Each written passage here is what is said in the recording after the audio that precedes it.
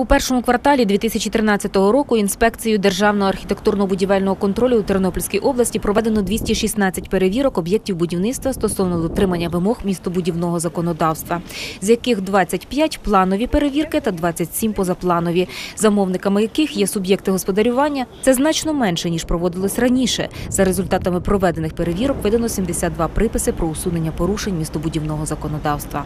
Є завдання президента України оптимізувати проведення перевірок, тобто зменшити тиск на бізнес. То, власне, таких перевірок у нас буде проведено тільки 27. І якщо порівняти це з першим кварталом 2012 року, то кількість таких перевірок у нас зменшена в 3,5 рази. От. Штрафні санкції ми застосовуємо тільки до тих правопорушників, які не хочуть реагувати на зауваження на приписи Держобудінспекції.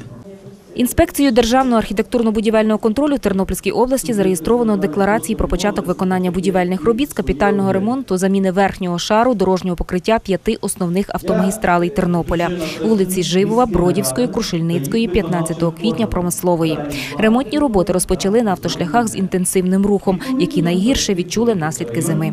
Також Юрій Олійник повідомив, що держава продовжила амністію на оформлення самовільно збудованого житла і запевняє, відколи працює інспекція, багатоповерхівок у Тернополі незаконно не зводять.